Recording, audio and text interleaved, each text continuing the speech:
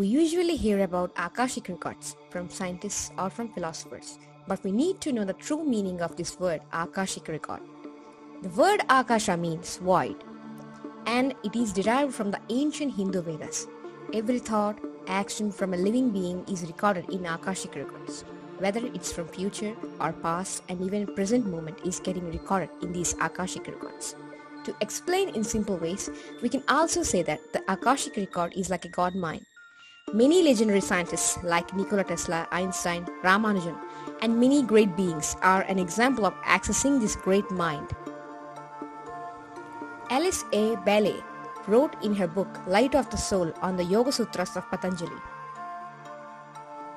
The Akashic record is like an immense photographic film. There is an ancient Hindu text named Brahmanda Purana. It means cosmic egg. The early 20th century Indian scholar Dikshitar dated the Brahmanda to 4th century BCE. It is listed as the 18th Mahapurana in almost all the anthologies. This Purana is like an encyclopedia because it covers all cosmological truths.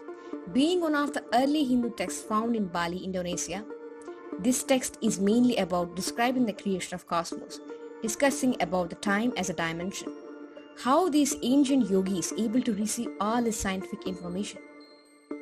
It is possible for enlightened beings because they learned to access the divine mind called Akashic records. It is possible for everyone to access, but all you need to do is to know your true self and choose to access it. I am Saija. Thank you so much for watching the video.